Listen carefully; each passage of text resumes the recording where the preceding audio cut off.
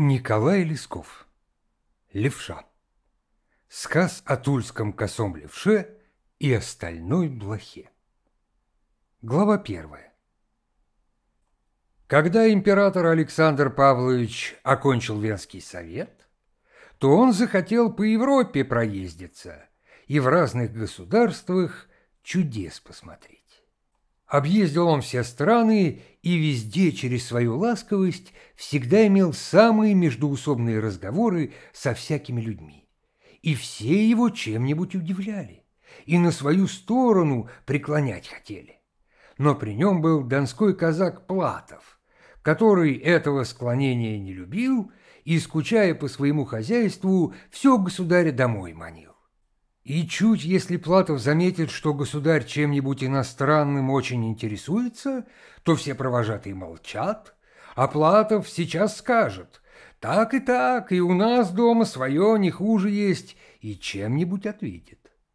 Англичане это знали, и к приезду государеву выдумали разные хитрости, чтобы его чужестранностью пленить и от русских отвлечь и во многих случаях они этого достигли, особенно в больших собраниях, где Платов не мог по-французски вполне говорить. Но он этим мало и интересовался, потому что был человек женатый, и все французские разговоры считал за пустяки, которые не стоят воображения. А когда англичане стали звать государя во всякие свои цейгаузы, оружейные и мыльно-пильные заводы, чтобы показать свое над нами во всех вещах преимущество и тем славиться, Платов сказал себе, «Ну уж тут шабаш, до этих пор еще я терпел, а дальше нельзя. Сумею я или не сумею говорить, а своих людей не выдам». И только он сказал себе такое слово, как государь ему говорит. «Так и так. Завтра мы с тобой едем их оружейную кунсткамеру смотреть. Там, говорит, такие природы совершенства, что как посмотришь, что уж больше не будешь спорить, что мы, русские, со своим значением никуда не годимся». Платов ничего государю не ответил, только свой гробоватый нос в лохматую бурку спустил а пришел в свою квартиру, велел денщику подать из-под гребца фляжку кавказской водки-кислярки, дерябнул хороший стакан, на дорожный складень Богу помолился, буркой укрылся и захрапел так, что во всем доме англичанам никому спать нельзя было. Думал, утро ночи мудренее. Глава вторая на другой день поехал государь с Платовым в Кунсткамеры. Больше государь никого из русских с собой не взял, потому что карету им подали двухсестную. Приезжают в прибольшое здание. Подъезд неописанный, коридоры до бесконечности, а комнаты одна в одну – и, наконец, в самом главном зале разные огромадные бюстры, и посредине под балдахином стоит Абалон Полведерский. Государь оглядывается на Платова, очень ли он удивлен и на что смотрит. А тот идет, глаза опустивши, как будто ничего не видит, только из усов кольца вьет. Англичане сразу стали показывать разные удивления и пояснять, что к чему у них приноровлено для военных обстоятельств. Буреметры морские, мерблюзии, мантоны пеших полков, а для конницы смылевые непромокабли. Государь на все это радуется, все кажется ему очень хорошо – а Платов держит свою ажитацию, что для него все ничего не значит. Государь говорит, «Как это возможно? Отчего в тебе такое бесчувствие? Неужто тебе здесь ничего не удивительно?» А Платов отвечает, «Мне здесь то одно удивительно, что мои донцы молодцы, без всего этого воевали и два на десять язык прогнали». Государь говорит, это безрассудок. Платов отвечает. Не знаю, к чему отнести, но спорить не смею и должен молчать. Англичане, видя между государь такую перемолвку, сейчас подвели его к самому Абалону, Полведерскому, и берут у того из одной руки Мартимерово ружье, а из другой – пистолю. «Вот, — говорят, — какая у нас производительность!» И подают ружье. Государь на Мартимерово ружье посмотрел спокойно, потому что у него такое в царском селе есть. Они потом дают ему пистолю и говорят, «Это пистоля неизвестного, неподражаемого мастерства». Ее наш адмирал у разбойничего атамана в канделабрии из-за пояса выдернул. Государь взглянул на пистолю и наглядеться не может. Взаахался ужасно. «Ах, ах, ах!» — говорит. «Как это так? Как это даже можно так тонко сделать?» И к Платову по-русски оборачивается и говорит. Вот, если бы у меня был хотя один такой мастер в России, так я бы этим весьма счастливый был и гордился, а того мастера сейчас же благородным бы сделал. А Платов на эти слова в ту же минуту опустил правую руку в свои большие шаровары и тащит оттуда оружейную отвертку. Англичане говорят «Это не отворяется» а он, внимания не обращая, ну, замок ковырять. Повернул раз, повернул два, замок и вывернулся. А там на самом судибе сделана русская надпись «Иван Москвин в ограде Тули». Англичане удивляются и друг дружку подталкивают. О, где мы маху дали! А государь Платову грустно говорит. «Зачем ты их очень сконфузил? Мне их теперь очень жалко. Поедем». Сели опять в ту же двухсестную карету и поехали. И государь в этот день на бале был, а Платов еще больший стакан кислярки выдушил и спать крепким казачьим сном. Было ему и радостно, что он англичана конфузил, а тульского мастера на точку вид поставил. Но было и досадно. Зачем государь под такси случай англичан сожалел? Через что этот государь огорчился, думал Платов. Совсем того не понимаю. И в таком рассуждении он два раза вставал, крестился и водку пил, пока насильно на себя крепкий сон навел.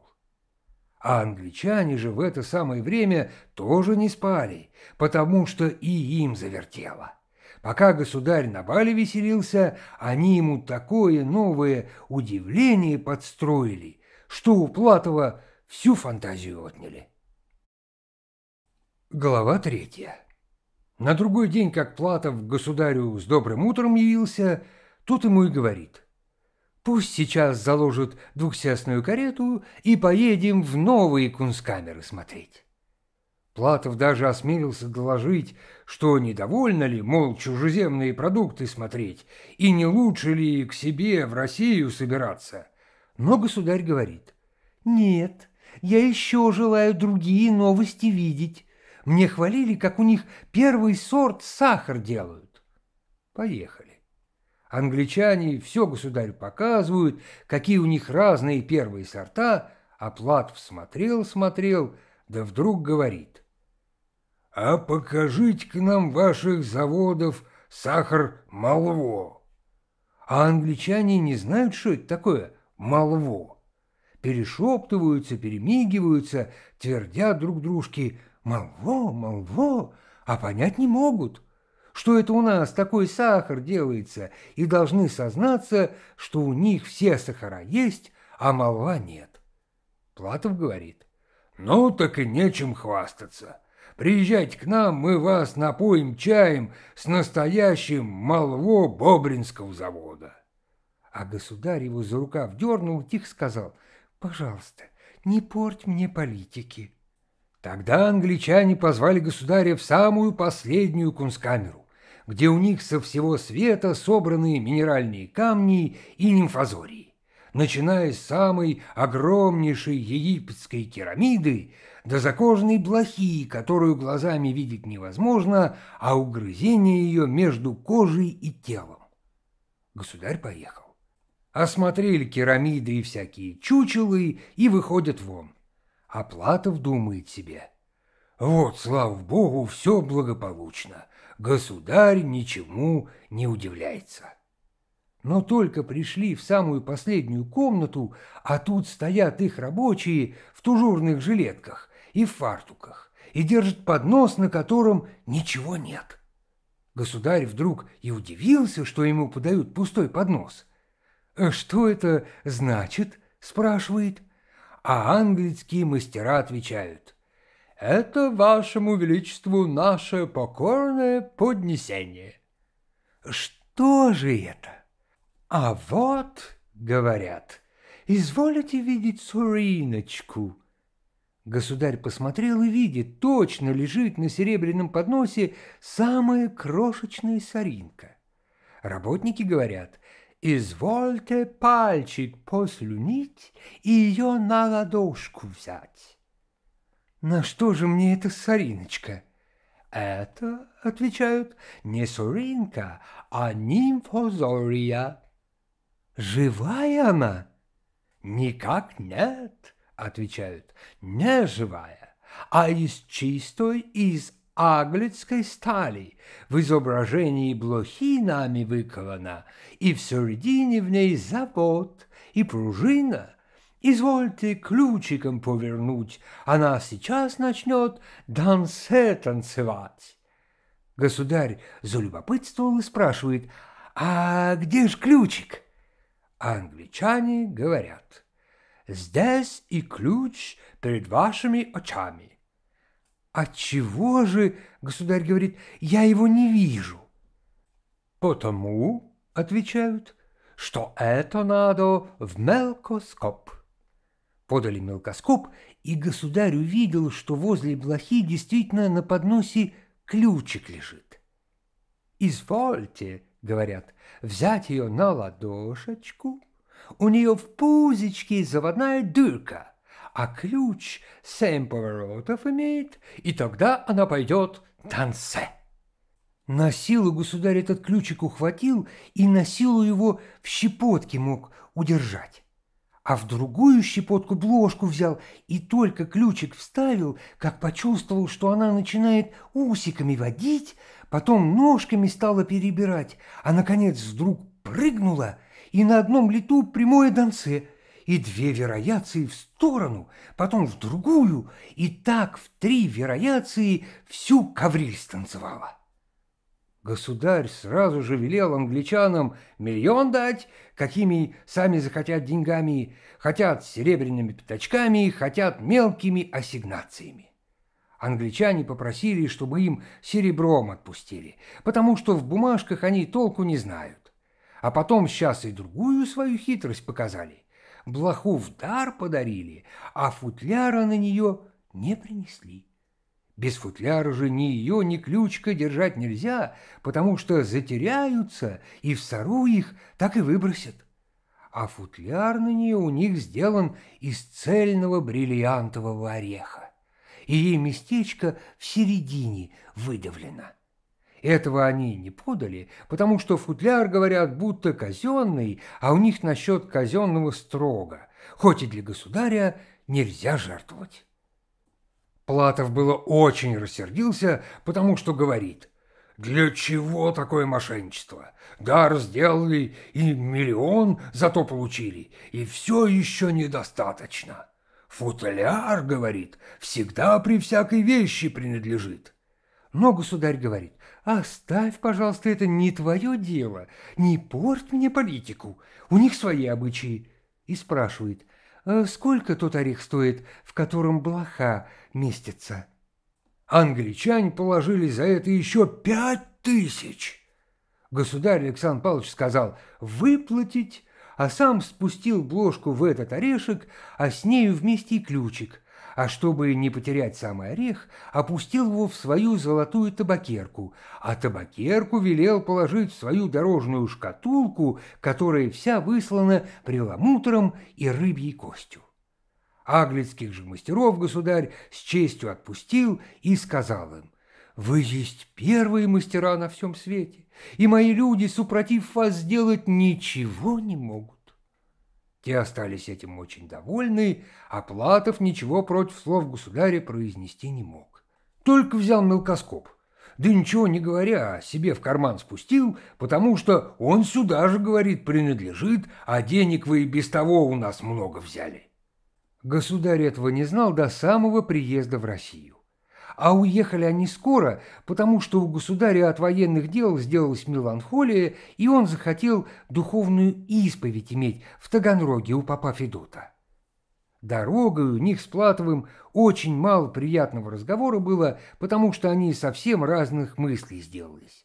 Государь так соображал, что англичанам нет равных в искусстве, а Платов доводил, что и наши, на что взглянут, все смогут сделать, но только им полезного учения нет. И представлял государю, что у аглицких мастеров совсем на все другие правила жизни, науки и продовольствия, и каждый человек у них себе все абсолютные обстоятельства перед собой умеет, и через то в нем совсем другой смысл.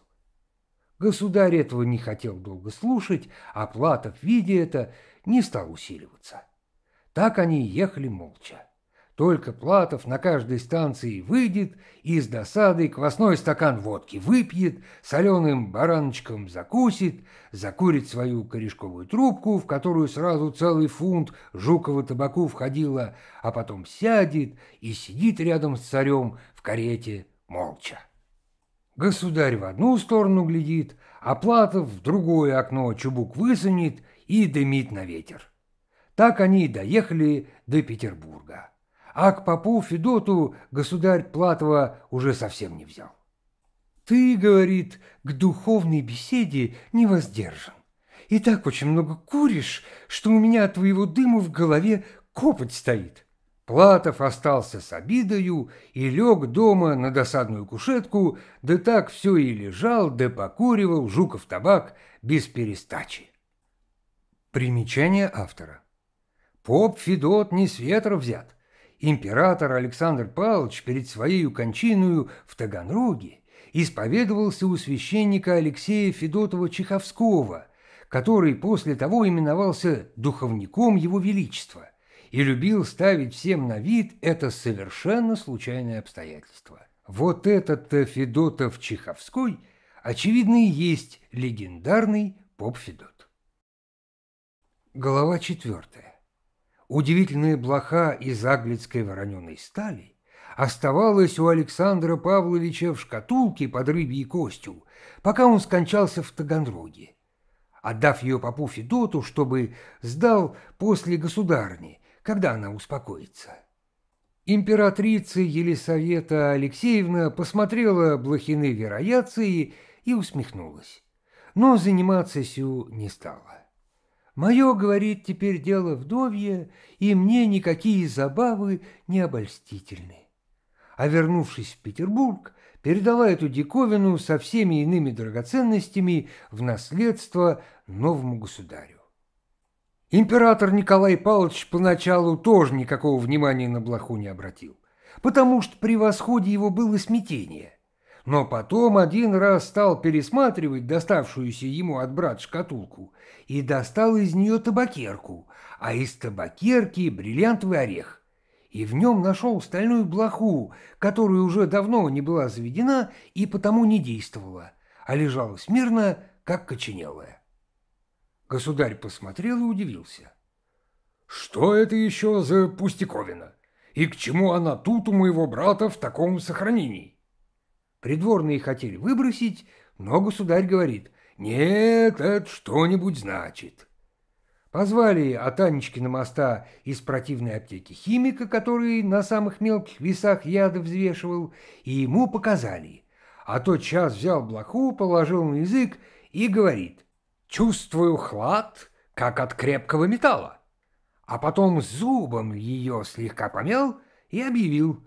Как вам угодно, а это не настоящая блоха, а нимфозория, и она сотворена из металла, и работа эта не наша, не русская. Государь велел сейчас разузнать, откуда это и что такое означает. Бросились смотреть в дела и в списки, но в делах ничего не записано. Стали того, другого спрашивать, никто ничего не знает. Но, по счастью, донской казак Платов был еще жив и даже все еще на своей досадной кушетке лежал и трубку курил. Он, как услыхал, что во дворце такое беспокойство, сейчас с кушетки поднялся, трубку бросил и явился к государю во всех орденах. Государь говорит, «Что тебе, мужественный старик, от меня надобно?»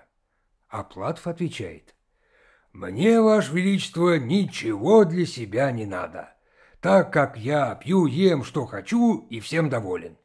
А я, — говорит, — пришел доложить насчет этой нимфозории, которую отыскали.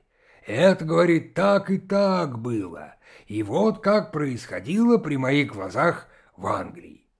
И тут при ней есть ключик, а у меня есть их жмелкоскоп, в который можно ее видеть, и сим ключом через пузичко эту нимфузорию можно завести, и она будет скакать в каком угодно пространстве и в стороны вероятции делать.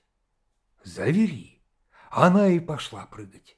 А Платов говорит, «Это, — говорит, — Ваше Величество, точно, что работа очень тонкая и интересная».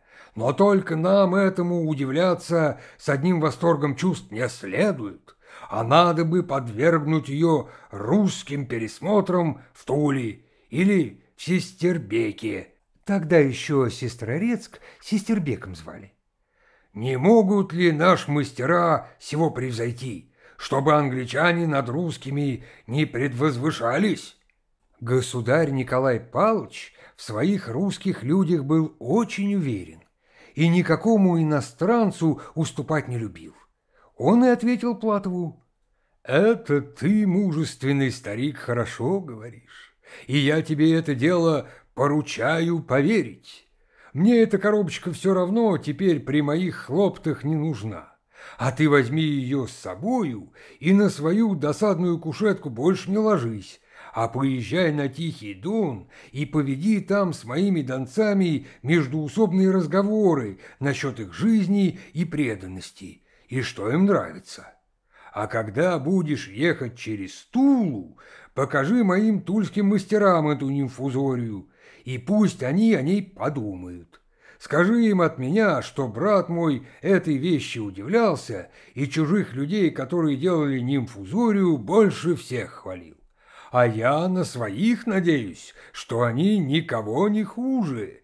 Они моего слова не проронят и что-нибудь сделают. Глава пятая. Платов взял стальную блоху и, как поехал через Тулу на Дон, показал ее тульским оружейникам и слова государеву им передал, а потом спрашивает, «Как нам теперь быть, православный?» Оружейники отвечают, мы, батюшка, милостиво слово государева чувствуем и никогда его забыть не можем, за то, что он на своих людей надеется. А как нам в настоящем случае быть, того мы в одну минуту сказать не можем, потому что аглицкая нация тоже не глупая, а довольно даже хитрая, и искусство в ней с большим смыслом. Против нее, говорят, надо взяться подумавший и с Божьим благословением. А ты, если твоя милость, как и государь наш, имеешь к нам доверие, поезжай к себе на Тихий Дон, а нам эту бложку оставь, как она есть в футляре и в золотой царской табакерочке. Гуляй себе по Дону и заживляй раны, которые принял за отечество. А когда назад будешь через Тулу ехать, остановись и спосылай за нами. Мы к той поре, Бог даст, что-нибудь придумаем. Платов не совсем доволен был тем, что тулики так много времени требуют, и притом не говорят ясно, что такое именно они надеются устроить. Спрашивал он их так и иначе, и на все манеры с ними хитро по-донски заговаривал. Но тулики ему в хитрость немало не уступили, потому что имели они сразу же такой замысел, по которому не надеялись даже, чтобы и Платов им поверил, а хотели прямо свое смелое воображение исполнить, да тогда и отдать. Говорят, мы еще и сами не знаем, что учиним, а только будем на Бога надеяться, и авось слово царское ради нас в постыжении не будет. Так и Платов умом виляет, и Тулики тоже. Платов вилял-вилял, да увидал, что Тулика ему не перевилять. Подал им табакерку с нимфазорией и говорит, «Ну, нечего делать, пусть, — говорит, — будет по-вашему. Я вас знаю, какие вы. Ну, одначе делать нечего. Я вам верю, но только смотрите, бриллиант, чтобы не подменить, и аглицкой тонкой работы не испортите. Да недолго возитесь, потому что я шибко езжу. Двух недель не пройдет, как я с Тихого опять в Петербург поворачу. Тогда мне чтоб непременно было, что государю показать. Оружейники его вполне успокоили.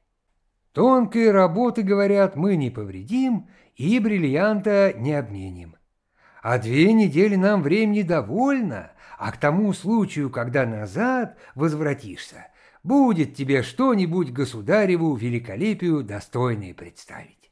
А что именно это, так-таки и не сказали. Глава шестая.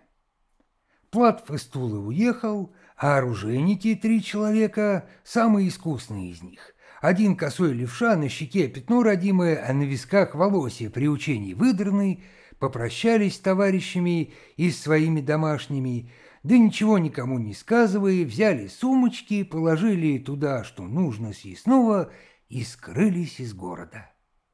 Заметили за ними только то, что они пошли не в московскую заставу, а в противоположную, киевскую сторону, и думали, что они пошли в Киев э, почивающим угодникам поклониться или посоветовать там с кем-нибудь из живых святых мужей, всегда пребывающих в Киеве в изобилии. Но это был только близко к истине, а не самая истина. Ни время, ни расстояние не дозволяли тульским мастерам сходить в три недели пешком в Киев, да еще потом успеть сделать посрамительную для английской нации работу. Лучше бы они могли сходить помолиться в Москву, до которой всего 2,90 верст, а святых угодников и там почивает немало. А в другую сторону до Орла такие же 2,90 да за Орел до Киева снова еще добрых пятьсот верст. Эткого пути скоро не сделаешь. Да и сделавши его, не скоро отдохнешь, долго еще будут ноги остеклевшие и руки трястись. Иным даже думалось, что мастера набахвалили перед Платовым, а потом, как пообдумались, то и струсили, и теперь совсем сбежали, унеся с собою и царскую золотую табакерку, и бриллиант, и наделавшую им хлопот аглицкую стальную блоху в футляре. Однако такое предположение было тоже совершенно неосновательно и недостойно искусных людей, на которых теперь почивала надежда нации. Глава седьмая. Тулики люди умные и сведущие в металлическом деле известны также как первые знатоки в религии. Их славою в этом отношении полна и родная земля, и даже святой Афон. Они не только мастера петь с вавилонами, но они знают, как пишется картина «Вечерний звон». А если кто из них посвятит себя большему служению и пойдет в монашество – то таковые слывут лучшими монастырскими экономами, и из них выходят самые способные сборщики. На святом Афоне знают, что тулики – народ самый выгодный, и если бы не они, то темные уголки России, наверное, не видали бы очень многих святостей отдаленного Востока, а Афон лишился бы многих полезных приношений от русских щедрот и благочестия. Теперь афонские тулики обвозят святости по всей нашей родине и мастерски собирают сборы даже там, где взять нечего. Туляк полон церковного благочестия и великий практик этого дела. А потому и те три мастера, которые взялись поддержать Платова и с ним всю Россию, не делали ошибки, направясь не к Москве, а на юг. Они шли вовсе не в Киев, а к Мценску, к уездному городу Орловской губернии, в котором стоит древняя камнесеченная икона святого Николая, приплывшая сюда в самые древние времена на большом каменном же кресте по реке Зуши. Икона эта вида грозного и пристрашного, святитель Мерликийский изображен на ней в рост. Весь одеян с ребропозлощенной одеждой, а лицом темен, и на одной руке держит храм, а в другой — меч, военное одоление. Вот в этом одолении и заключался смысл вещи. Святой Николай вообще покровитель торгового и военного дела а Мценский Никола в особенности. Ему-то тулики и пошли поклониться. Отслужили они молебен у самой иконы, потом у каменного креста и, наконец, возвратились домой нощью. И ничего никому не рассказывая, принялись за дело в ужасном секрете. Сошлись они все трое в один домик к левше. Двери заперли, ставни в окнах закрыли, перед Никольным образом лампадку затеплили и начали работать. День, два, три сидят и никуда не выходят, все молоточками потюкивают, куют что-то такое, а что куют, ничего не известно. Всем любопытно, а никто ничего не может узнать, потому что работающие ничего не сказывают и наружу не показываются. Ходили к домику разные люди, стучались в двери под разными видами, чтобы огня или соли попросить, но три искусника ни на какой спрос не отпираются и даже чем питаются неизвестно. Пробовали их пугать, будто по соседству дом горит, не выскочут ли в перепуги и не объявится ли тогда, что ими выковано. Но ничего не брало этих хитрых мастеров. Один раз только левша высунулся по плечи и крикнул «Гореть себе, а нам некогда!» И опять свою щипанную голову спрятал, ставню захлопнул и за свое дело принялся. Только сквозь малые щелочки было видно, как внутри дома огонек блестит, да слышно, что тонкие молоточки по звонким наковальням вытюкивают. Совсем все дело велось в таком страшном секрете, что ничего нельзя было узнать. И притом продолжалось оно до самого возвращения казака Платова с Тихого Дона к государю. И во все это время мастера ни с кем не видались и не разговаривали. Глава восьмая. Платов ехал очень спешно и с церемонией. Сам он сидел в коляске, а на козлах два свистовые казака с нагайками по обе стороны ямщика садились и так его и поливали без милосердия, чтобы скакал. А если какой казак задремлет, Платов сам его из коляски ногой ткнет, и еще злее понесутся. Эти меры побуждения действовали до того успешно, что нигде лошадей ни у одной станции нельзя было удержать, а всегда сто скачков мимо остановочного места перескакивали. Тогда опять казак над ямщиком обратно сдействует и к подъезду возвратятся. Так они и в Тул прикатили. Тоже пролетели сначала сто скачков дальше московской заставы. А потом казак сдействовал над ямщиком нагайкою в обратную сторону и стали у крыльца новых коней запрягать. Платов же из коляски не вышел, а только велел свистовому как можно скорее привести к себе мастеровых, которым блоху оставил. Побежал один свистовой, чтобы шли как можно скорее и несли ему работу, которую должны были англичан посрамить. И еще мало этот свистовой отбежал, как Платов вдогонку за ним раз за разом новых шлет, чтобы как можно скорее. Всех свистовых разогнал и стал уже простых людей из любопытной публики посылать. Да даже и сам от нетерпения ноги из коляски выставляет, и сам от нетерпеливости бежать хочет, а зубами так и скрипит, все ему еще не скоро показывается. Так в тогдашнее время все требовалось очень в аккурате и в скорости, чтоб ни одна минута для русской полезности не пропала. Глава девятая. Тульские мастера, которые удивительное дело делали, в это время как раз только свою работу оканчивали. Свистовые прибежали к ним запыхавшись, а простые люди из любопытней публики, те и вовсе не добежали, потому что с непривычки по дороге ноги рассыпали и повалились. А потом от страха, чтобы не глядеть на Платова, ударились домой, да где попало спрятались.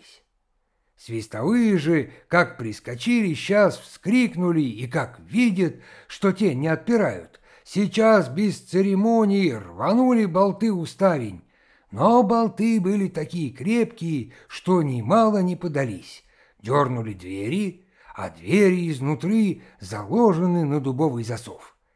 Тогда свистовые взяли с улицы бревно, поддели им на пожарный манер под кровельную застреху, да всю крышу с маленького домика сразу и своротили. Но крышу сняли, да и сами сейчас повалились, потому что у мастеров в их тесной хороминке от безотдышной работы в воздухе такая потная спираль сделалась, что непривычному человеку свежего поветрия и одного раза нельзя было продохнуть.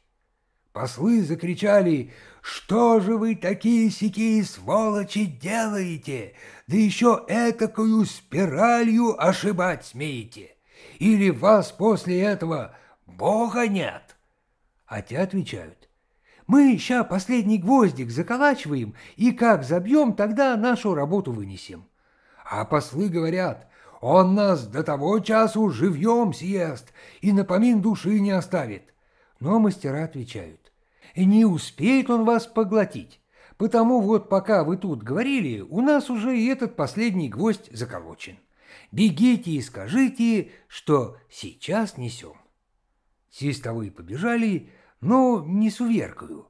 Думали, что мастера их обманут. А потому бежат-бежат, да оглянутся. Но мастера за ними шли и так очень скоро поспешали, что даже не вполне как следует для явления важному лицу оделись, а на ходу крючки в кафтанах застегивают. У двух у них в руках ничего не содержалось, а у третьего, у левши, в зеленом чехле царская шкатулка с аглицкой стальной блохой. Глава десятая. Свистовые подбежали к Платову и говорят, вот они, сами здесь. Платов сейчас к мастерам. Готово ли?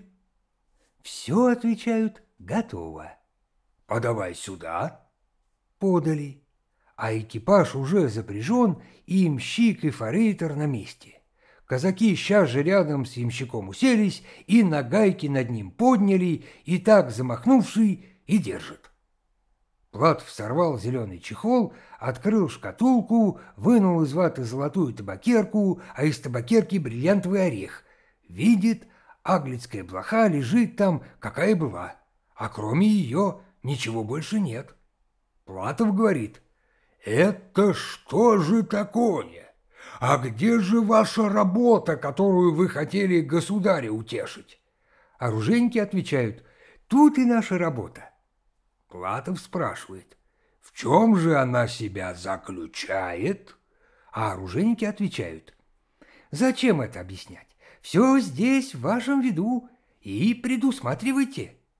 Платов плечами вздвигнул и закричал, «Где ключ от блохи?» А тут же отвечают, где блоха, тут и ключ, в одном орехе. Хотел Платов взять ключ, но пальцы у него были куцапые, ловил, ловил, никак не мог ухватить. Ни блохи, ни ключишка от ее брюшного завода. И вдруг рассердился и начал ругаться словами на казацкий манер.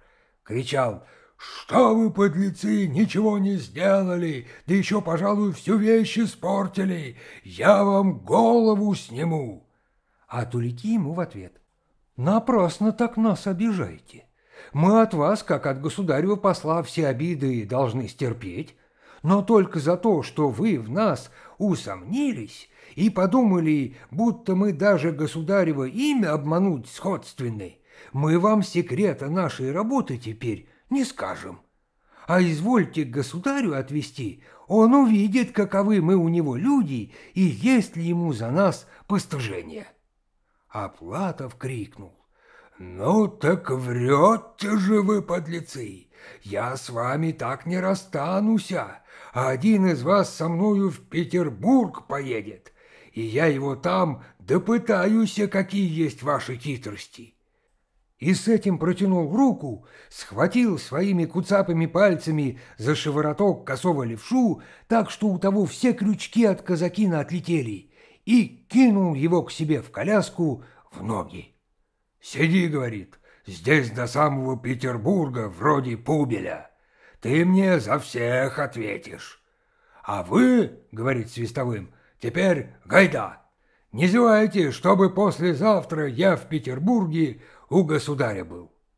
Мастера ему только осмелились сказать за товарища, что как же, мол, вы его от нас так, без тугамента увозите, ему нельзя будет назад следовать.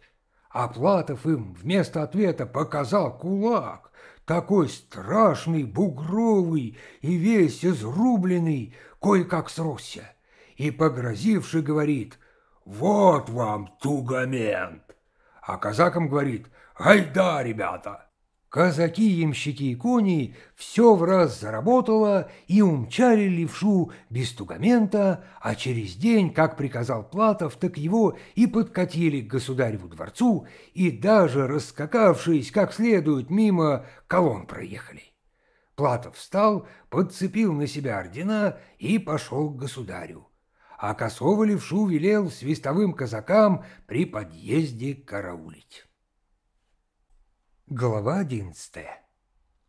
Платов боялся государю на глаза показаться, потому что Николай Павлович был ужасно какой замечательный и памятный, ничего не забывал.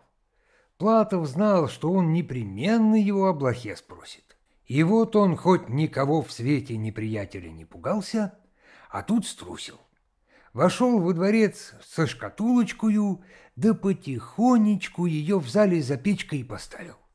Спрятавши шкатулку, Платов предстал к государю в кабинет и начал поскорее докладывать, какие у казаков на Тихом Дону между собойные разговоры. Думал он так, чтобы этим государя занять, и тогда, если государь сам вспомнит и заговорит про блоху, надо подать и ответствовать, а если не заговорит, то промолчать. Шкатулку кабинетному камердинеру велеть спрятать, а Тульского левшу в крепостной каземат без сроку посадить, чтобы посидел там до времени, если понадобится. Но государь Николай Павлович ни о чем не забывал. И чуть Платов насчет междусобойных разговоров кончил, он его сейчас же и спрашивает. «А что же? Как мои тульские мастера против аглицкой нимфузории себя оправдали?» Платов отвечал в том роде, как ему удел казалось.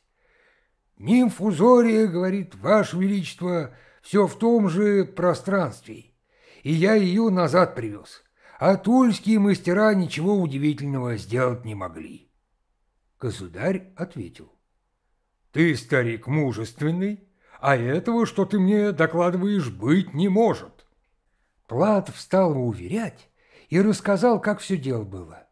И как досказал до того, что тулики просили его блоху государю показать, Николай Павлович по плечу хлопнул и говорит «Подавай сюда. Я знаю, что мои меня не могут обманывать. Тут что-нибудь сверх понятия сделано». Глава двенадцатая. Вынесли из-за печки шкатулку, сняли с нее суконный покров, открыли золотую табакерку и бриллиантовый орех а в нем блоха лежит, какая прежде была и как лежала. Государь посмотрел и сказал, «Что за лихо?» Но веры своей в русских мастеров не убавил, а велел позвать свою любимую дочь Александру Николаевну и приказал ей, «У тебя на руках перстни тонкие, возьми маленький ключик и заведи поскорее в этой нимфозории брюшную машинку. Принцесса стала крутить ключиком, и блока сейчас усиками зашевелила, но ногами не трогает. Александра Николаевна весь завод натянула, а нимфузория все-таки ни дансе не танцует, ни одной вероятции, как прежде, не выкидывает. Платов весь позеленел и закричал «Ах, они шельмы собаческие! Теперь понимаю, зачем они ничего мне так сказать не хотели. Хорошо еще, что я одного ихнего дурака с собой захватил». С этими словами выбежал на подъезд, словил левшу за волосы и начал туда-сюда трепать так, что клочья полетели. А тот, когда его Платов перестал бить, поправился и говорит, «У меня и так все волосья при учебе выдраны, а не знаю теперь, за какую надобность надо мною такое повторение». «Это за то, — говорит Платов, — что я на вас надеялся и заручался, а вы редкостную вещь испортили!» Левша отвечает, «Мы много довольны, что ты за нас ручался, и испортить мы ничего не испортили. Возьмите в самый сильный мелкоскоп смотрите». Платов назад побежал про мелкоскоп сказывать, а левше только погрозился — «Я тебе, — говорит, — такой секой этакий еще задам!» И велел свистовым, чтобы левши еще крепче локти назад закрутили, а сам поднимается по ступеням, запыхался и читает молитву. «Благов царя, благая мать и пречистая и чистая!» и дальше как надобно. А царедворцы, которые на ступенях стоят, все от него отворачиваются, думают, попался Платов, и сейчас его из дворца вон погонят. Потому они его терпеть не могли за храбрость. Глава тринадцатая. Как довел Платов Левшины слова государю, тот сейчас с радостью говорит «Я знаю, что мои русские люди меня не обманут», и приказал подать мелкоскоп на подушке ту же минуту мелкоскоп был подан, и государь взял блоху и положил ее под стекло, сначала кверху спинкою, потом бочком, потом пузичком. Словом сказать, на все стороны ее повернули, а видеть нечего. Но государь тут своей веры не потерял, а только сказал «Привести сейчас ко мне сюда этого оружейника, который внизу находится». Платов докладывает его бы приодеть надо. Он в чем был взят и теперь очень в злом виде. А государь отвечает, ничего, вести, как он есть. Платов говорит, вот иди теперь, сам такой этакий, перед очами государю отвечай. А левша отвечает, что ж, такой пойду, я отвечу. Идет в чем был, в опорочках, одна штанин в сапоге, другая мотается, а зямчик старенький, крючки не застегиваются, порастеряны, а шиворот разорван, но ничего не конфузится. Что же такое, думает, если государю угодно меня видеть, я должен идти. А если при мне тугамента нет, так я тому не причинен и скажу, от чего так дело было. Как зашел левша и поклонился, государь ему сейчас и говорит — что это такое, братец, значит? Что мы и так, и этак смотрели, и под мелкоскоп клали, а ничего замечательного не усматриваем. А левша отвечает, «Так ли вы, Ваше Величество, изволили смотреть?»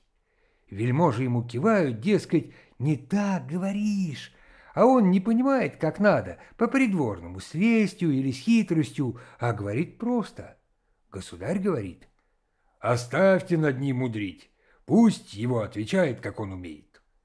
И сейчас ему пояснил. Мы, говорит, вот как клали. И положил блоху под мелкоскоп. Смотри, говорит, сам, ничего не видно. Левша отвечает. Это, к ваше величество, ничего и невозможно видеть, потому что наша работа против такого размера гораздо секретнее. Государь вопросил. «А как же надо?» «Надо, — говорит, — всего одну ее ножку в подробности под весь мелкоскоп подвести и отдельно смотреть на всякую пяточку, которая наступает». «Помилуй, скажи, —— говорит государь. «Это уже очень сильно мелко». «А что ж делать?» — отвечает левша. «Если только так нашу работу и заметить можно, тогда все и удивление окажется». Положили, как левша сказал, и государь, как только глянул в верхнее стекло, так весь и просиял. Взял левшу, какой он был, неубранный, в пыли, неумытый, обнял его и поцеловал. А потом обернулся ко всем придворным и сказал, «Видите, я лучше всех знал, что мои русские меня не обманут. Глядите, пожалуйста, ведь они шельмы, английскую блоху на подковы подковали». Глава четырнадцатая стали все подходить и смотреть. Блоха действительно была на все ноги подкована, на настоящие подковы. А левша доложил, что и это еще не все удивительное. Если бы, говорит, был лучше мелкоскоп, который в пять миллионов увеличивает, так вы изволили бы, говорит, увидать, что на каждой подковинке мастерово имя выставлено – какой русский мастер ту подкову делал. — И твое имя тут есть? — спросил государь. — Никак не это, — отвечает левша. — Моего одного и нету. — Почему же? — А потому, — говорит, — что я мельче этих подковок работал. Я гвоздики выковывал, которыми подковки забиты. Там уже никакой мелкоскоп взять не может. Государь спросил. Где же ваш мелкоскоп, с которым вы могли произвести это удивление? А левша ответил, мы люди бедные, и по бедности своей мелкоскоп не имеем, а у нас так глаз пристрелявший. Тут и другие придворные, видя, что левши дело выгорело, начали его целовать, а ему сто рублей дал и говорит, «Прости меня, брат, что я тебя за волосы отодрал». Левша отвечает, «Бог простит, это нам не впервые такой снег на голову». А больше и говорить не стал, да и некогда ему было ни с кем разговаривать, потому что государь приказал сейчас же эту подкованную нимфузорию уложить и отослать назад в Англию, вроде подарка, чтобы там поняли, что нам это неудивительно. И велел государь, чтобы вез блоху особый курьер, который на все языки учен, а при нем чтобы и левша находился, и чтобы он сам англичанам мог показать работу и каковы у нас в Туле мастера есть. Платов его перекрестил. «Пусть, — говорит, — над тобою будет благословение, а на дорогу я тебе моей собственной кислярки пришлю. Не пей мало, не пей много, а пей средственно. Так и сделал, прислал. А граф Кисельвроди велел, чтобы обмыли левшу в туликовских всенародных банях, остригли в парикмахерской и одели в парадный кафтан с придворного певчего, для того, дабы похоже было, будто и на нем какой-нибудь жалованный чин есть. Как его таким манером обформировали, напоили на дорогу чаем с платовскую кисляркою, затянули ременным поясом как можно туже, чтобы кишки не тряслись, и повезли в Лондон. Отсюда с левшой и пошли загадочные виды. Глава 15. Ехали курьер с левшою очень скоро, так что от Петербурга до Лондона нигде отдыхать не останавливались, а только на каждой станции пояса на один значок еще уже перетягивали, чтобы кишки с легкими не перепутались. Но как левше после представления государю по платовскому приказанию от казны винная порция в волю полагалась, он, не евший, этим одним себя и поддерживал. И на всю Европу русские песни пел, только припев делал по-иностранному. «Ай, люли, Ситре Жули. Курьер как привез его в Лондон, так появился кому надо и отдал шкатулку. А левшу в гостинице в номер посадил. Но ему тут скоро скучно стало, да и есть захотелось. Он постучал в дверь и показал служащему себе народ, а тот сейчас его и свел в пищеприемную комнату. Сел тут левша за стол и сидит, а как чего-нибудь по-английски спросить не умеет. Но потом догадался, опять просто по столу перстнем постучит, да в рот себе покажет. Англичане догадываются и подают, только не всегда того, что надобно. Но он, что ему неподходящее, не принимает. Подали ему ихнего приготовления горячий студенг в огне. Он говорит, я ед не знаю, чтобы такое можно есть. И выкушать не стал. Они ему переменили, и другого куш не поставили. Также и водки их пить не стал, потому что она зеленая, вроде как будто купоросом заправлена. А выбрал, что всего натуральнее, и ждет курьера в прохладе за баклажечкой. А те лиц, которым курьер нимфозорию сдал, сию же минуту ее рассмотрели в самый сильный мелкоскоп и сейчас в публицейские ведомости описание, чтобы завтра же на всеобщее известие клеветон вышел. А самого этого мастера, говорят, мы сейчас хотим видеть. Курьер их припроводил в номер, а оттуда в пищеприемную залу, где наш левша порядочно уже подрумянился и говорит «Вот он». Англичане левшу сейчас хлоп-хлоп по плечу и как ровного себе за руки. «Камрад», — говорят, «камрад, хороший мастер, разговаривать с тобой со временем, после будем, а теперь выпьем за твое благополучие». Спросили много вина и левше первую чарку, а он с вежливостью первый пить не стал. Думает, может быть, отравить с досады хотите? «Нет», — говорит, — «это не подарок, и в Польше нет хозяина больше, сам вперед кушайте». Англичане всех вин перед ним опробовали, и тогда ему стали наливать. Он встал, левой рукой перекрестился и за всех их здоровье выпил. Они заметили, что он левой рукой крестится, и спрашивают у курьера, что он, лютеранец или протестантист? Курьер отвечает, нет, он не лютеранец и не протестантист, а русской верой. Зачем же он левой рукой крестится? Курьер сказал, он левша, и все левой рукой делает. Англичане еще более стали удивляться и начали накачивать вином и левшу, и курьера, и так целые три дня обходились, а потом говорят «Теперь довольно».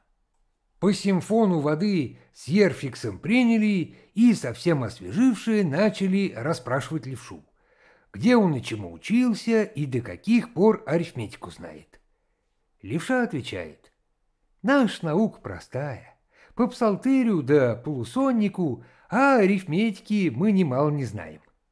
Англичане переглянулись и говорят, это удивительно. А левша им отвечает, у нас это так повсеместно. А что же это, спрашивают, за книга в России, полусонник?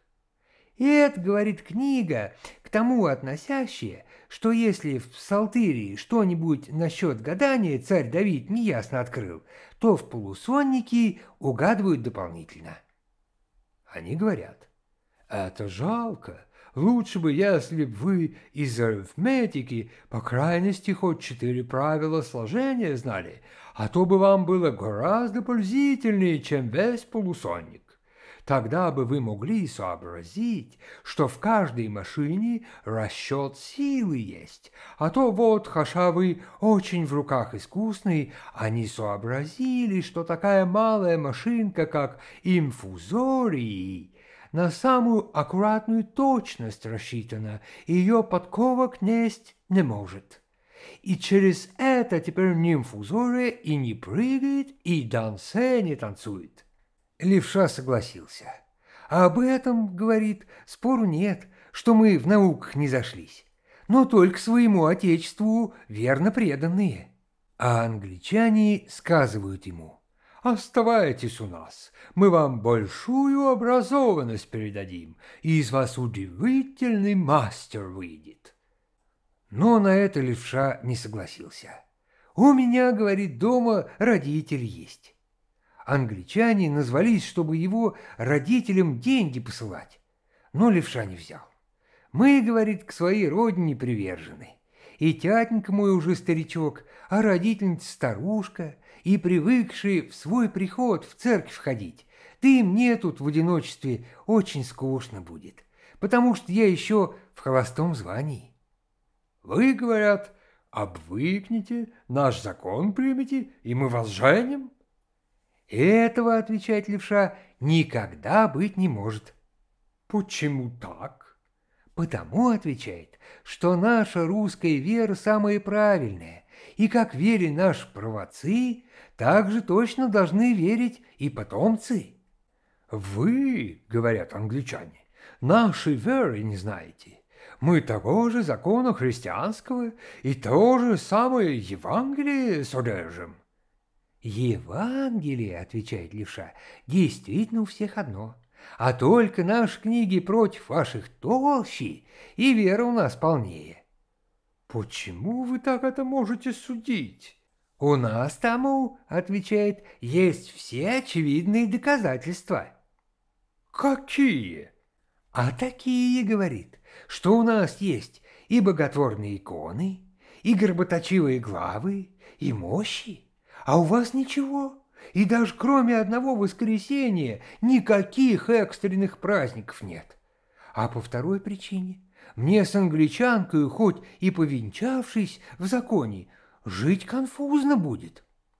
«Отчего же так?» – спрашивают.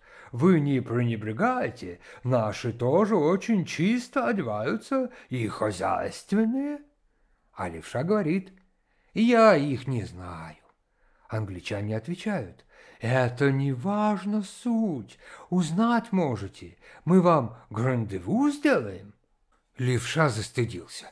«Зачем, — говорит, — напрасно девушку морочить?» И отнекался. «Грандеву, — говорит, — это дело господское, а нам не идет. И если об этом дом в Туле узнают, ну, да мною большую насмешку сделают». Англичане полюбопытствовали. «А если, — говорят, — без грандеву?» То как же у вас в таких случаях поступают, чтобы приятный выбор сделать? Левша им объяснил наше положение. У нас, говорит, когда человек хочет насчет девушки обстоятельные намерения обнаружить, посылает разговорную женщину. И как она предлог сделает, тогда вместе в дом идут вежливо, и девушку смотрит не таясь, а при всей родственности – они поняли, но отвечали, что у них разговорных женщин нет и такого обыкновения не водится. А левша говорит, и эта тема приятнее, потому что таким делом, если заняться, то надо с обстоятельным намерением. А как я сего к чужой нации не чувствую, то зачем девушек морочить? Он англичанам и в этих своих суждениях понравился – так что они его опять пошли по плечам и по коленям с приятствием ладошками охлопывать, а сами спрашивают. «Мы бы, — говорят, — только через одно любопытство знать желали. Какие вы порочные приметы в наших девицах приметили и за что их обегаете?» Тут левша им уже откровенно ответил. «Я их не порочу, — а только мне то не нравится, что одежда на них как-то машется, и не разобрать, что такое надето и для какой надобности. Тут одно что-нибудь, они же еще другое пришпилено, а на руках какие-то нагавочки, совсем точно обезьянка сапожу, плисовая тальма. Англичане засмеялись и говорят, «Какое же вам в этом препятствие?»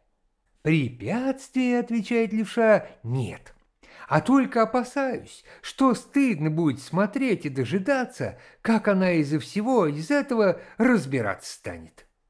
Неужели же, говорят, ваш фасон лучше? Наш фасон, отвечает, втуль простой, всякой в своих кружевцах, и наш кружева даже и большие дам носят. Они его тоже и своим дамам казали, и там ему чай наливали и спрашивали. «Для чего вы морщитесь?» Он отвечал, что мы, говорит, очень сладко не приучены. Тогда ему по-русски в прикуску подали. Им показывается, что это будет хуже, а он говорит «на наш вкус этак вкуснее». Ничем его англичане не могли сбить, чтобы он на их жизнь престился.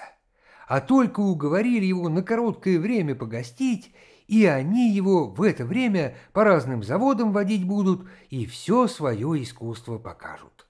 А потом, говорят, мы его на своем корабле привезем и живого в Петербург доставим. На это он согласился. Глава 16 Взяли англичане левшу в свои руки, а русского курьер назад в Россию отправили. Курьер, хотя и чин имел, и на разные языки был учен, но они им не интересовались, а левшою интересовались. И пошли они левшу водить и все ему показывать. Он смотрел все их производство, и металлические фабрики, и мыльно-пильные заводы, и все хозяйственные порядки их ему очень нравились, особенно насчет рабочего содержания. Всякий работник у них постоянно в сытости, одет не в обрывках, а на каждом способный тужурный жилет, обут в толстые щеглеты с железными набалдашниками, чтобы нигде ноги ни на что не напороть. Работает не с байлом, а с обучением и имеет себе понятие. Перед каждым на виду висит долбица умножения, а под рукою стирабельная дощечка. Все, что который мастер делает, на долбицу смотрит и с понятием сверяет. А потом на дощечке одно пишет, другое стирает и в аккурат сводит. Что на цифирях написано, то и на деле выходит. А придет праздник, соберутся по парочке, возьмут в руки по палочке и идут гулять чинно-благородно, как следует. Левша на все их житье и на все их работы насмотрелся, но больше всего внимания обращал на такой предмет, что англичане очень удивлялись. Не столь его занимало, как новые ружья делают, сколь то, как старые в каком виде состоят. Все обойдет и хвалит, и говорит, это и мы и так можем. А как до старого ружья дойдет, засунет палец в дуло, повертит по стенкам и вздыхает. Это, говорит, против нашего не в пример превосходнейшее. Англичане никак не могли отгадать, что такое левша замечает, а он спрашивает. «Не могу ли, — говорит, — я знать, что наши генералы это когда-нибудь глядели или нет?» Ему говорят, которые тут были, те, должно быть, глядели. «А как, — говорит, — они были, в перчатке или без перчатки?» «Ваши генералы, — говорят, Парадные они всегда в перчатках ходят. Значит, и здесь так были. Левша ничего не сказал, но вдруг начал беспокойно скучать. Затасковал и затасковал, и говорит англичанам. Покорно благодарствуйте на всем угощении. И я всем у вас очень доволен, и все, что мне нужно было видеть, уже видел, а теперь я скорее домой хочу. Никак его более удержать не могли. По суше его пустить нельзя, потому что он на все языки не умел. А по воде плыть нехорошо было, потому что время было осеннее, бурное, но он пристал «отпустите». «Мы на буриметр, — говорят, — смотрели, буря будет, потонуть можешь». Это ведь не то, что у вас Финский залив, а тут настоящее твердиземное море. И это все равно отвечает, где умереть. Все единственно, воля Божья. А я желаю скорее в родное место, потому что иначе я могу род помешательства достать. Его селом не удерживали, напитали, деньгами наградили, подарили ему на память золотые часы с трепетиром, а для морской прохлады на поздний осенний путь дали байковое пальто с ветряной нахлобучкою на голову очень тепло одели и отвезли левшу на корабль, который в Россию шел. Тут поместили левшу в лучшем виде, как настоящего барина. Но он с другими господами в закрытии сидеть не любил и совестился. А уйдет на палубу, под презент сядет и спросит, где наша Россия? Англичанин, которого он спрашивает, рукой ему в ту сторону покажет или головой махнет, а он туда лицом обратится и нетерпеливо в родную сторону смотрит. Как вышли из Буфты в Твердиземное море, так стремление его к России такое сделалось, что никак его нельзя было успокоить. Водопление стало ужасное, а левша все вниз в кают не идет, под презентом сидит, на хлобучку надвинул и к отечеству смотрит. Много раз англичане приходили его в теплое место вниз звать, но он, чтобы ему не докучали, даже отлыгивать начал. «Нет», — отвечает, — «мне тут наружу лучше, а то со мною под крышей от колыхания морская свинка делается». Так все время и не сходил до особого случая. И через это очень понравился одному подшкиперу, который на горе нашего левши умел по-русски говорить. Этот полшкипер не мог надевиться, что русский сухопутный человек и так все непогоды выдерживает. «Молодец!» — говорит. «Рус! Выпьем!» Левша выпил. А полшкипер говорит «Еще?» Левша еще выпил и напились. Полшкипер его и спрашивает. «Ты какой от нашего государства в Россию секрет везешь?» Левша отвечает. «Это мое дело». «А ежели так?» — отвечал полшкипер. «Так давай держать с тобой аглицкое парей». Левша спрашивает. «Какое?» «Такое?» чтобы ничего в одиночку не пить, а всего пить заровно, что один, то непременно другой, и кто кого перепьет, того и горка. Левша думает, небо тучится, брюхо пучится, скука большая, а путин длинная, и родного места за волной не видно. Пари держать все-таки веселее будет. Хорошо, говорит, идет. Только чтоб честно. Да уж это, говорит, не беспокойтесь. Согласились и по рукам ударили. Глава 17 Началось у них пари еще в Твердиземном море, и пили они до рижского динаминда. Но шли все наравне, и друг другу не уступали и до того аккуратно равнялись, что когда один, глянув в море, увидал, что из воды черт лезет, так сейчас то же самое и другому объявилось. Только полшкипер видел черта рыжего, а левша говорил, будто он темен, как мурин. Левша говорит, «Перекрестись и отворотись, это черт из пучины». А англичанин спорит, что это морской водоглаз – «Хочешь, — говорит, — я тебя в море швырну? Ты не бойся, он мне тебя сейчас назад подаст». А левша отвечает, «Если так, то швыряй». Полшкипер ее взял на закорки и понес к борту. Матросы это увидели, остановили их и доложили капитану а тот велел их обоих вниз запереть и дать им рому и вина и холодной пищи, чтобы могли и пить, и есть, и свое пари выдержать. А горячего студингу с огнем им не подавать, потому что у них внутри может спирт загореться. Так их и привезли в заперти до Петербурга. И пари из них ни один друг у друга не выиграл. А тут расклали их на разные повозки и повезли англичанина в посланнический дом на английскую набережную, а левшу в квартал. Отсюда судьба их начала сильно разниться.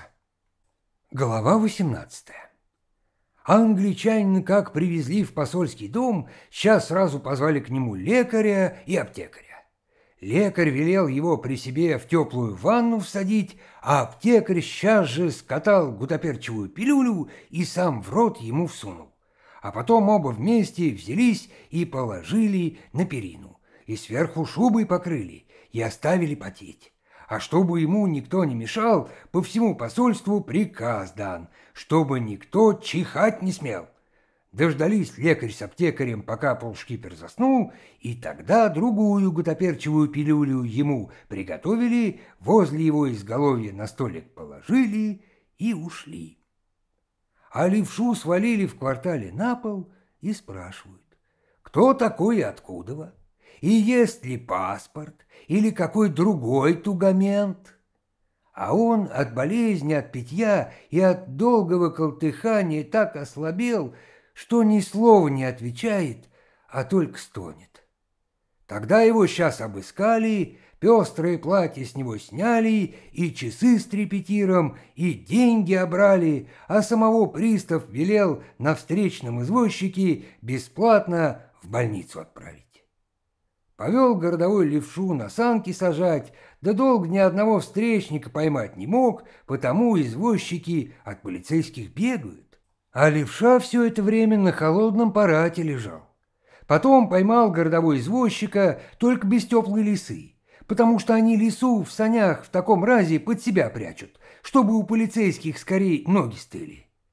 Везли левшу так непокрытого, да как с одного извозчика на другого станут пересаживать, все роняют, а подниматься станут, ухи рвут, чтобы в память пришел. Привезли в одну больницу, не принимают без тугамента. Привезли в другую, и там не принимают. И так в третью и в четвертую до самого утра его по всем отдаленным кривопуткам таскали и все пересаживали так, что он весь избился. Тогда один подлекарь сказал городовому вести его в простонародную Обухвинскую больницу, где неведомого сословия всех умирать принимают. Тут велели расписку дать, а левшу до разборки на полу коридор посадить. А аглицкий полшкипер в это самое время на другой день встал, другую гутоперчивую пилюлю внутрь проглотил, на легкий завтрак курицу с рысью съел, ерфиксом запил и говорит «Где мой русский комрад? Я его искать пойду». Оделся и побежал. Голова девятнадцатая. Удивительным манером Полшкипер как-то очень скоро левшу нашел. Только его еще на кровать не уложили, а он в коридоре на полу лежал и жаловался англичанину. «Мне бы, — говорит, — два слова государю непременно надо сказать». Англичанин побежал к графу Клинмихелю и зашумел. «Разве так можно? У него, — говорит, — хоть и шуба Овечкина, так душа Человечкина». Англичанина сейчас оттуда за это рассуждение вон, чтобы не смел поминать душ человечкину. А потом ему кто-то сказал, сходил бы ты лучше к казаку Платову, он простые чувства имеет. Англичанин достиг Платова, который теперь опять на кушетке лежал. Платов его выслушал и про левшу вспомнил. «Как же, братец, — говорит, — очень коротко с ним знаком даже за волоса его драл. Только не знаю, как ему в таком несчастном разе помочь. Потому что я уже совсем отслужился и полную пуплекцию получил. Теперь меня больше не уважают, а ты беги скорее к коменданту Скобелеву. Он в силах и тоже в этой части опытный, он что-нибудь сделает». Полшкипер пошел к Скобелеву и все рассказал, какая у левши болезнь и от чего сделалась. Скобелев говорит, «Я эту болезнь понимаю, только немцы ее лечить не могут, а тут надо какого-нибудь доктора из духовного звания, потому что те в этих примерах выросли и помогать могут. Я сейчас сошлю туда русского доктора Мартын Сольского». Но только когда Мартын Сольский приехал, левша уже кончался, потому что у него затылок, а парапет раскололся, и он одно только мог внятно выговорить.